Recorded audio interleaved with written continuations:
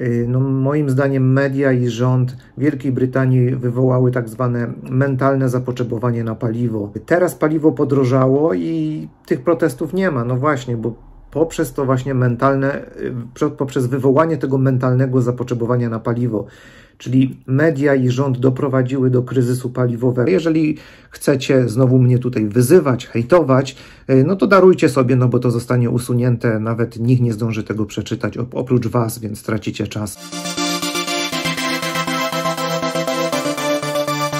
Witam Was bardzo serdecznie w kolejnym vlogu. Dzisiaj będzie krótki vlog, nie tak jak zazwyczaj obiecuję, tylko naprawdę będzie 4-5 minut. Y, taka mała aktualizacja właśnie do kryzysu paliwowego i do kryzysu, y, no, do kryzysu w sklepach w Wielkiej Brytanii. Y, pamiętacie pewnie miesiąc temu, ponad miesiąc temu, to już bodajże 6 tygodni, jak ten czas szybko leci, Ponad jakieś 6 tygodni temu wybuch, wybuchła tutaj tak zwana panika zakupowa w Wielkiej Brytanii i ja nagrywałem też na ten temat odcinki, bodajże ze cztery odcinki na ten temat nagrałem. Y, wtedy też no, dostałem sporo hejtu, dlatego że yy, powiem tak, ośmieliłem się powiedzieć, że kryzys paliwowy wtedy i te puste, yy, no, puste półki gdzie niegdzie w sklepach ja ośmieliłem się powiedzieć, że zostało to wywołane y, paniką zakupową, że zostało to po prostu wywołane, wywołane sztucznie. No wtedy zostałem tutaj zhejtowany, zwyzywany, nawymyślali mi, po prostu ośmieliłem się mieć inne zdanie niż inni ludzie. Y, no niestety, no, definicję hejtu moglibyśmy właśnie w ten sposób y, ująć, że Hejt jest wtedy, kiedy masz inne zdanie niż, niż inni ludzie, a ci inni ludzie nie są w stanie po, podać jakby logicznych y, argumentów, dlaczego oni się sprzeciwiają tobie, tylko wolą cię po prostu zwyzywać, zhejtować, wy, nawymyślać. Y, no mniejsza o to, ja się tym nie przejmuję, no naprawdę po mnie to spływa. Y, hejt po mnie spływa, tak, dokładnie o to mi chodzi. Nie opinia, nie konstruktywna krytyka, tylko hejt po mnie spływa. No ale mniejsza o to, dzisiaj już po tych czterech czy tam sześciu tygodniach wszyscy wiemy, że kryzys paliwowy i, ten, i te pustoszejące półki w Wielkiej Brytanii, to wszystko zostało wywołane sztucznie, to wszystko wy, y, zostało prawdopodobnie wywołane poprzez porozumienie rządu z mediami. I moi drodzy, i co, i co teraz się stało? No stało się to, co ja wtedy mówiłem, czyli to, że paliwo pojawi się, to, że na półkach pojawią się y, towary, i pojawią się w wyższych cenach. I tak się właśnie teraz stało. Paliwo pojawiło się na stacjach, oczywiście w wyższych cenach. Y, podwyżki również w sklepie możemy zauważyć. I ludzie w tym momencie nie pytają, dlaczego tak drogo. Y, ludzie w tym momencie cieszą się, że w ogóle mają co kupić i cieszą się, że jest paliwo. Czyli widzicie, jak to działa. Taki, tak, tak, taki typowy, bym powiedział, agresywny marketing, no nie do końca jakby uczciwy marketing no, moim zdaniem media i rząd Wielkiej Brytanii wywołały tak zwane mentalne zapotrzebowanie na paliwo. Czyli y, normalnie, kiedy jest paliwo na stacjach, ludzie kupują, kupują, kupują i nagle są jakieś tam podwyżki, wtedy ludzie zaczynają się sprzeciwiać, że dlaczego te podwyżki, zaczynają się powiedzmy jakieś strajki, protesty i tak dalej, i tak. Y, teraz paliwo podrożało i tych protestów nie ma. No właśnie, bo poprzez to właśnie mentalne, y, poprzez wywołanie tego mentalnego zapotrzebowania na paliwo. Czyli media i rząd doprowadziły do kryzysu paliwowego, wzbudzając tak zwane paniczne zakupy. To paliwo zniknęło ze stacji, półki w sklepach zaczęły pustoszeć i, i ludzie się wystraszyli. I o to właśnie chodziło rządzącym i mediom, żeby ludzie się przestraszyli. Ludzie się przestraszyli i dlatego teraz, kiedy to paliwo wróciło na stację, to ludzie już nie pytają, dlaczego tak drogo, tylko ludzie się cieszą, że w ogóle jest. Y, no tak to, moi drodzy, działa. Dlatego mój apel taki, nie dajmy się zastraszyć, dlatego że paliwa nam nie braknie, y, towaru nam nie braknie. Y, może się okazać, że braknie znowu, jeżeli znowu zostaną sztucznie wywołane zakupy, czyli znowu zostanie wywołana no bardziej to sprecyzuję, znowu zostanie wywołana panika zakupowa i moim zdaniem tak będzie. Moim zdaniem znowu na święta Bożego Narodzenia, na ten okres ten zwany tak Christmas time, który się tak rozpoczyna powiedzmy już w sumie w listopadzie w Wielkiej Brytanii, kiedy to y, wzbudzane, są, wzbudzane jest zapotrzebowanie na różne produkty i usługi, kiedy ludzie po prostu więcej pieniędzy zostawiają w sklepach, na stacjach i gdziekolwiek indziej. Również w bankach, no bo też pożyczki są udzielane y, w większych ilościach. Także moim zdaniem znowu dojdzie do tego, do tak zwanych panicznych zakupów i tutaj y, szefowie spedycji Wielkiej Brytanii generalnie naciskają na premiera Borisa Johnsona. Zaraz wam to pokażę. No moi drodzy, zobaczcie sami. Tutaj jest artykuł sprzed y, paru godzin dosłownie.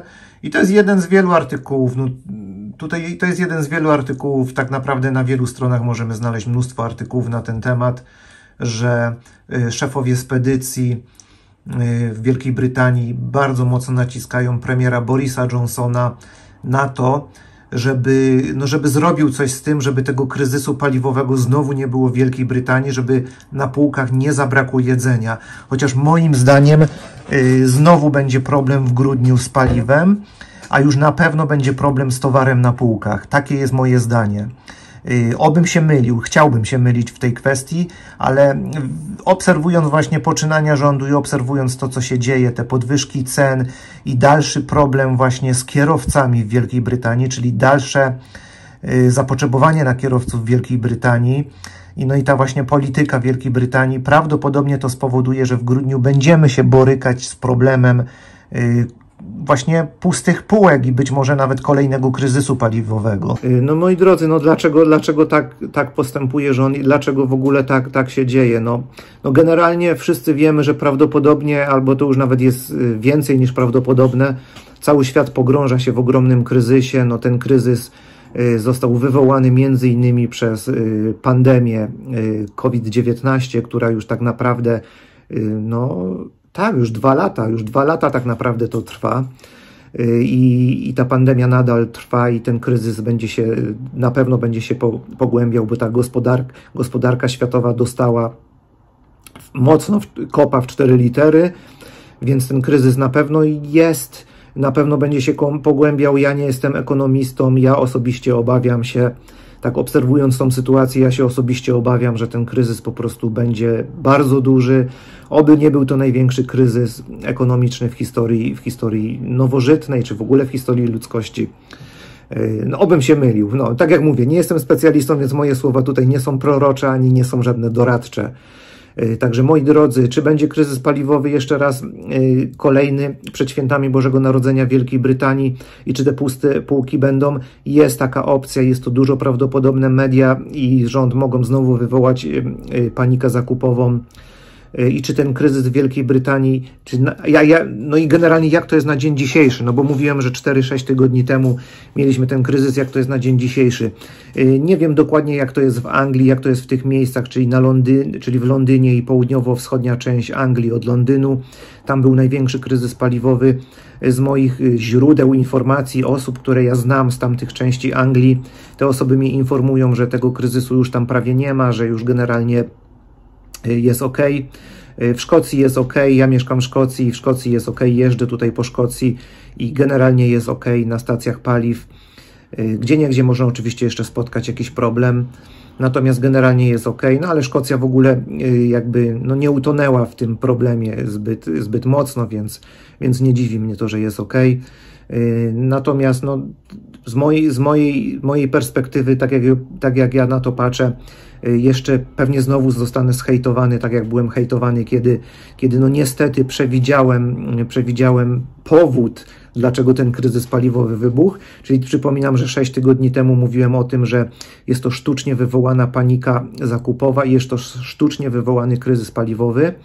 I wtedy zostałem mocno zhejtowany, jeszcze raz powtarzam, mocno zhejtowany, bo ośmieliłem się mieć inne zdanie, jak się okazuje, y, trafne zdanie Obawiam się, że teraz znowu będę miał trafne zdanie, czyli znowu w grudniu będzie ten kryzys paliwowy i puste półki, ale tak jak mówię, chciałbym się mylić. Na pewno jest oczywiście szansa, że ja się mylę, no bo niby tam rząd Wielkiej Brytanii cały czas coś robi, żeby tych kierowców więcej zatrudnić, yy, tylko jest pytanie, jest pytanie, czy rząd znowu jakby, jakby z udziałem mediów, że tak powiem, znowu wywoła tą panikę zakupową. Tego nie wiemy, ale ja się spodziewam, że, że chyba tak będzie. Moje zdanie jest takie, no nie należy panikować, no oczywiście, no trzeba się zabezpieczyć, jakiś ten bak paliwa mieć w grudniu, powiedzmy zaczyna się ten grudzień i mieć ten bak na full zatankowany, tak, dlaczego nie? Przecież i tak w ten sposób większość osób tankuje, że tankuje na full. Y, zbliżają się święta, to też warto zrobić te zakupy wcześniej. Nie robić ich powiedzmy 23 grudnia czy tam 24 grudnia rano, tylko moim zdaniem warto by było zrobić ten tydzień wcześniej, jeżeli ktoś oczywiście ma czas, no bo wiadomo, różnie ludzie pracują, różnie pracujemy. Y, także, ale sugerowałbym nie robić tego tak, y, tych zakupów w ten sposób, żeby no, brakło naszemu sąsiadowi, no bez przesady. Jeżeli, nie wiem, mamy czteroosobową rodzinę, i, i kupujemy powiedzmy na święta pięć bochenków chleba, dajmy na to, tak, tak szczelam, no to, no to kupmy te pięć bochenków chleba, może nie kupujmy 40 bochenków chleba, no zobaczymy, obserwujmy po prostu sytuację na bieżąco, nie panikujmy w każdym razie. Y, ja tak, ja po prostu, ja nie jestem, tak jak mówię, nie jestem żadnym doradcą, y, tylko po prostu ja ze swojego punktu odniesienia, widzenia, ja to widzę tak. Jak się zaczynał ten kryzys te 6 tygodni temu, ja tam zatankowałem do połowy baku i po prostu obserwowałem, co się dzieje. Widziałem, że zaczyna brakować, ale nie jechałem od razu tankować, tylko czekałem te parę dni na rozwój sytuacji. Stwierdziłem, że najwyżej będę na nogach chodzić, jak mi braknie paliwa, będę wszędzie na nogach chodzić, a mam potrzeby ogromne jeżdżenia samochodem, o czym wspomniałem w filmie i są to yy, potrzeby uzasadnione i, i ekonomicznie, i zdrowotnie, także mam ogromne potrzeby. Y, tak samo z chlebem. Kupiłem powiedzmy dwa bochenki chleba na weekend i patrzyłem, co się dzieje. No, y, no mój Boże, no braknie mi chleba, no to można jeść jeszcze coś innego, tak?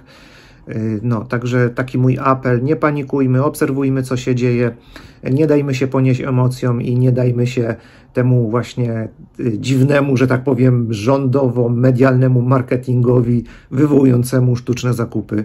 Dziękuję za wysłuchanie. Mam nadzieję, że Wam się podobało. Mam nadzieję, że włączycie się do dyskusji i mam nadzieję, że skomentujecie to, co mówię, y, niezależnie czy się z tym zgadzacie, czy nie, tylko po prostu fajnie sobie w komentarzach podyskutować. A jeżeli chcecie znowu mnie tutaj wyzywać, hejtować, no to darujcie sobie, no bo to zostanie usunięte, nawet nikt nie zdąży tego przeczytać oprócz Was, więc tracicie czas na hejt. No, trzymajcie się i do usłyszenia.